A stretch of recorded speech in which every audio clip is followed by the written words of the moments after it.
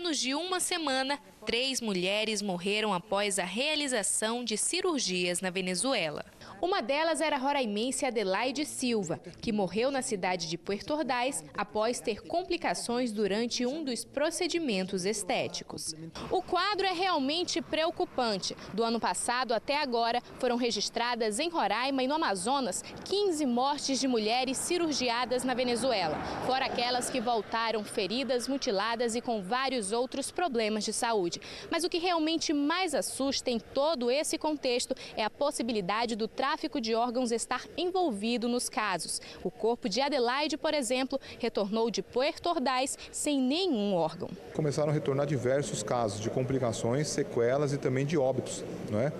E o ingrediente principal que deixou essa coisa muito né, temerária é justamente lá o indício que nós tínhamos de remoção de órgão, mas não conseguimos ter tantas, tantos indícios como agora. A chance realmente dessa questão de tráfico de órgão existir é muito grande. A presidente da Comissão dos Direitos Humanos da OAB do Amazonas explica que na maioria dos casos as mulheres são seduzidas por aliciadoras. Por 8 mil reais, elas fazem, colocam silicone, uma mamoplastia de aumento, fazem a abdominoplastia e a lipoaspiração.